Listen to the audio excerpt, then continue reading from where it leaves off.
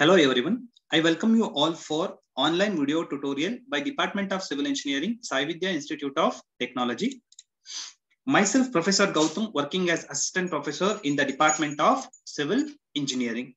In today's class, I am going to teach about problem on sample disturbance. That means if you extract a soil sample from the earth surface, whether that soil sample is disturbed or undisturbed. That calculation I'm going to show in today's class. So now let us see the problem. Uh, okay, before going to the problem, let us see the formulas we are using in order to calculate that sample disturbance. Let us assume this is the sampler we are using for the extraction of the soil sample. In this sampler, let us take the values like this. So in the top portion in the sample tube, in the sample tube, let us consider outside diameter as D4 and inside diameter as D3. And in the cutting edge position, let us consider out, outside diameter as D2 and inside diameter as D1. Okay, so inside clearance can be calculated by using the formula D3 minus D1 divided by D1 whole multiplied by 100. So if this value is 1 to 3%, then we can say that sample is undisturbed if it is more value, then we can consider that sample is more disturbed. Then outside clearance can be calculated by using the formula D2 minus D4 divided by D4 whole multiplied by 100. Again, in order to say the sample is less disturbed, the value should be in between 0 to 2%.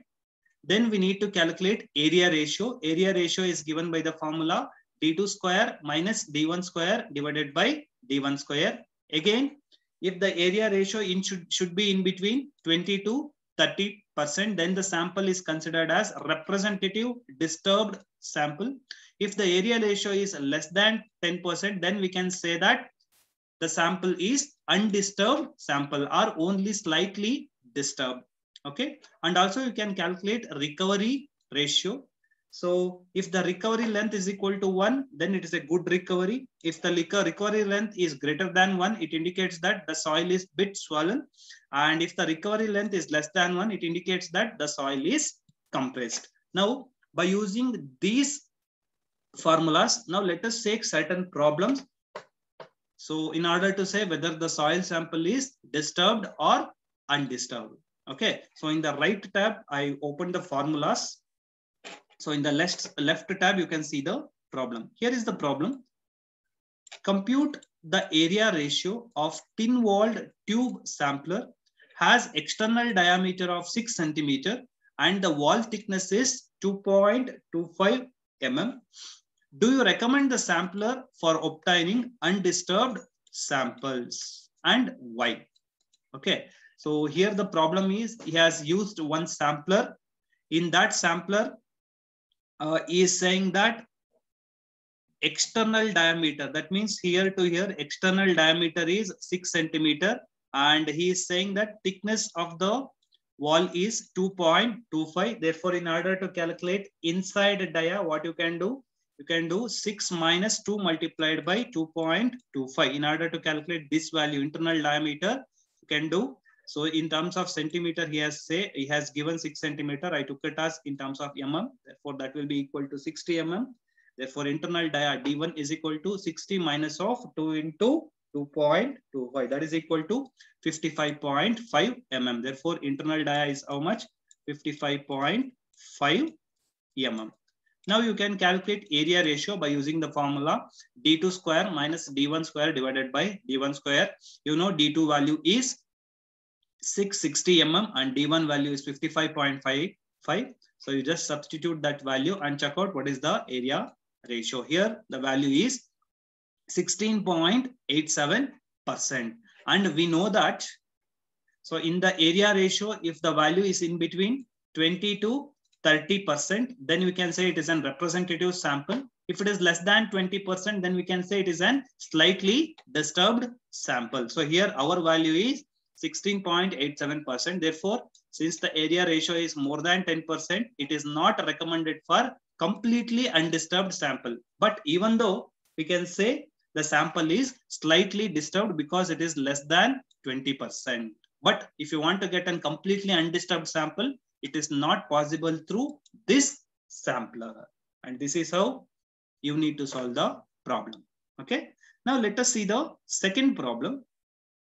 Second problem is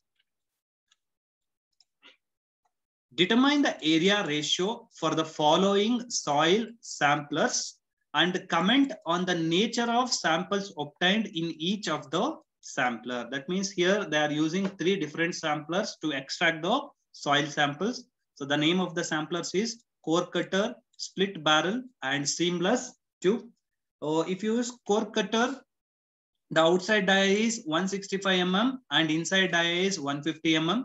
In the split barrel, outside dia is 51 and uh, inner dia is 35 mm. In the seamless tube, outside dia is 51 mm and inside dia is 48 mm.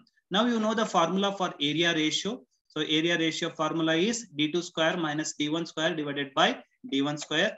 Apply formula for all the samplers for core cutter, split barrel and seamless For the core cutter, if you apply the formula, the area ratio is 21%. Since it is 21%, that means area ratio is slightly more than 20%, which is reasonably good disturbed sample. That is, you can say um, the soil is not completely disturbed. A bit portion of the soil is get disturbed because we know that if it is in 20 to 30% means it is an representative soil sample. Similarly, if you take the next one, split barrel, apply the same formula, d2 square minus d1 square divided by d1 square.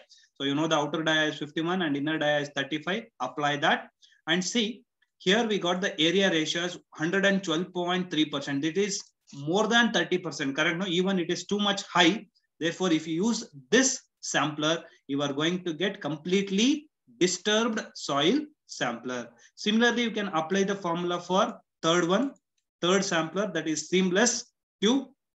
So if you apply there, external dia is 51 and internal dia is 48. So the value is 12.89. Therefore, you can say that here, more or less, you are going to get undisturbed soil sample. Okay, and this is how you need to calculate whether the soil is disturbed or undisturbed. Okay, let us see one more problem. So here the problem is a sampling tube has inner diameter of 70 mm and that of cutting edge is equal to 68 mm. Their outer diameter are 72 mm and 74 mm respectively. That, that means here they, they had given all the values. D1 is equal to 68 mm and D2 is equal to 74 mm. D3 is equal to 70 mm and D4 is equal to 72 mm. That means here they had given diameters of cutting edge and also the tube which is connected to the cutting edge. So that's you have to note it down. D1 is 68, D2 is 74, again D3 is 70 and D4 is 72 mm. Next, what he is asking, determine inside clearance, outside clearance and area ratio of the sampler. And this tube is pushed at the bottom of the borehole to a distance of 550 mm and the length of the sample recovered is 530 mm. Find the recovery ratio. That means if you use this sampler and if you insert this sampler inside the earth surface, okay, so the total length of the sampler is 550 mm. But when you remove that sampler back, the sample collected is having a length of only a 530 mm. Now for this, we need to find out recovery ratio. Okay, so for the given sampler, we have to calculate inside clearance, outside clearance, area ratio, and also recovery ratio. Okay, now inside clearance formula is D3 minus D1 divided by D1 into 100. We know what is D3, D1 and uh, D1. So you just substitute all the values in the inside clearance formula and check out what is the value. So here we got the value as 2.94%. Next, calculate outside clearance. The formula of outside clearance is D2 minus D4 divided by D2. So all the values are available. Substitute all the values here and check out the answer. It is 2.78%. Next, calculate area ratio formula. So area ratio is given by d2 square minus d1 square divided by d1 square. We know what is the value of d2, d1. So d2 is 74 and d1 is 68. So substitute all the values. So I'm going to get the value as 18.42%. So recovery ratio, the formula of recovery ratio is equal to recovered length of the sample divided by penetrating length. In this problem, penetrating length is 550 and recovered length is 530. So substitute that 530, that is a recovered length, penetrating length is 550. Therefore, the answer is how much? 0.963. Since recovery length or recovery ratio is less than 1, we can say that the soil is compressed. Okay. And uh, this is how you need to work out the problem based, work out the problems on in getting the sample, the soil sample is disturbed or undisturbed based on diameter of the sample tube and cutting edge. Okay. Uh, guys, I hope all of you understood the problems what I had taught in today's class. So we will meet in the next class with another set of problems. Thank you guys.